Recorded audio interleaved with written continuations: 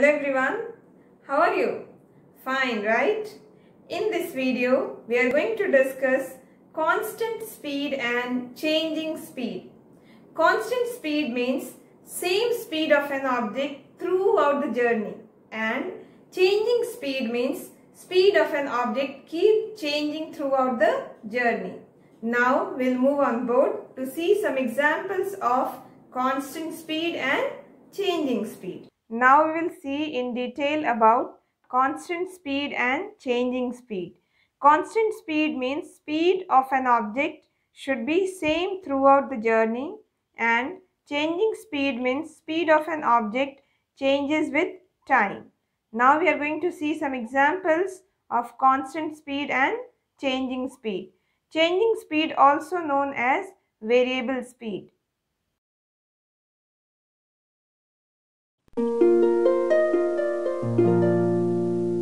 This is one example for constant speed. Suppose Sam. Sam has to uh, go to school and he, he will start from his home and reaches to school and this is the way how he goes. So in the first section he covers 100 meter in 10 second.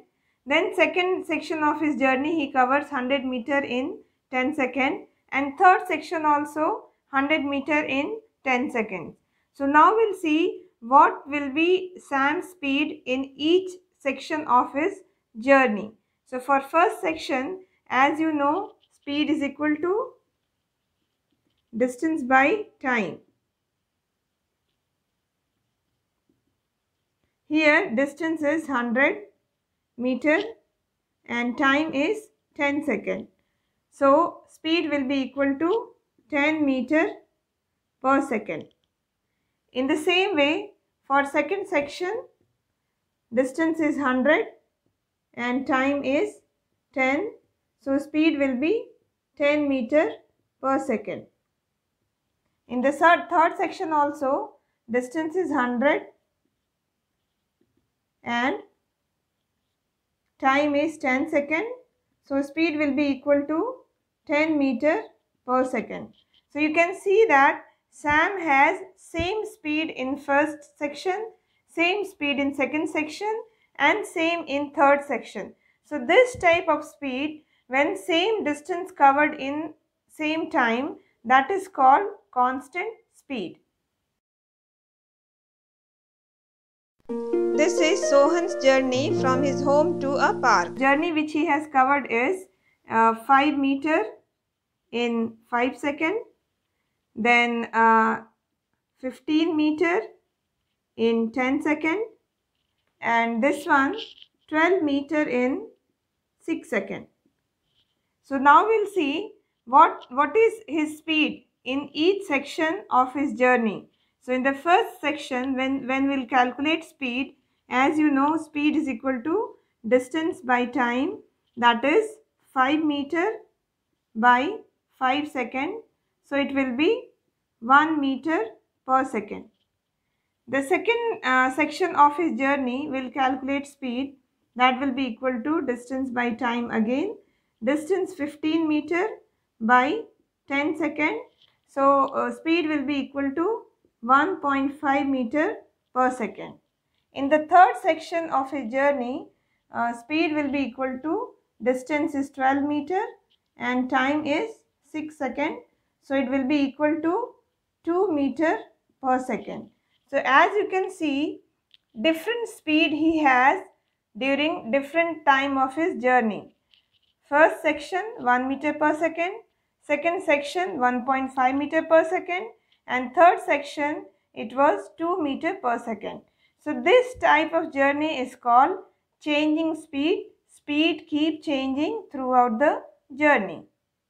These are three different types of distance time graph.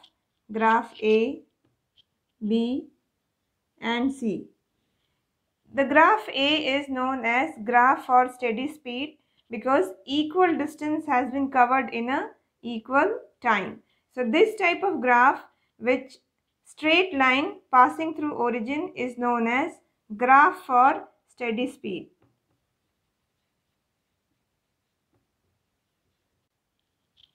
This is another type of distance time graph where we have compare speed of two uh, objects. Suppose this is the graph for red car and this is the graph for blue car.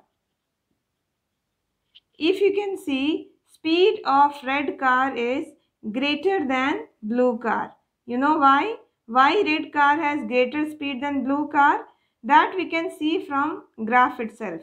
If you see the distance covered by the red car, that is here. So red car has covered this much distance in same time. Whereas blue car has covered this much distance in same time. So distance covered by, by blue car is lesser than distance covered by red car. So the speed of red car is greater than blue car. So this type of graph where there are two or more than two lines, that graph is used to compare speeds. This is third type of graph in which you can see it is not a straight line like other two, it is a curve. So curve means at the beginning the speed was slow but afterwards it has increased sharply. So this type of graph is for speeding up. This type of graph shows that the object is not moving constantly, it is speeding up. Observe these vehicles. How do we know whether the motion is slow or fast? The answer here is simple. You compare them and their change in position with respect to time. When all of these vehicles move in the same direction, we accurately know which one is moving faster. By observing these vehicles, we come to know that the range of motion is signified by its changing position for a set interval of time. In simple words, the distance covered by an object in a fixed interval of time helps us to know whether the object is faster or slower.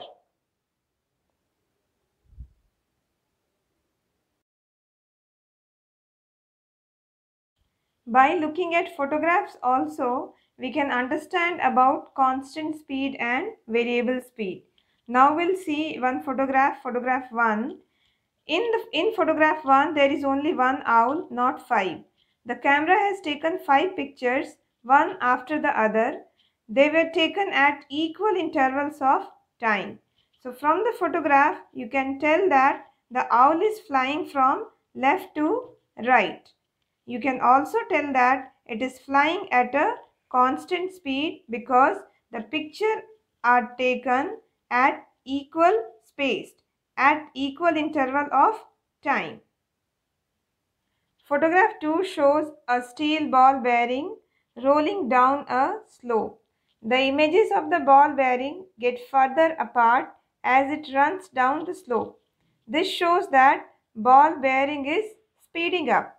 So, equal spacing tells us that an object is moving at a st steady speed and increasing spacing tells us that it is speeding up.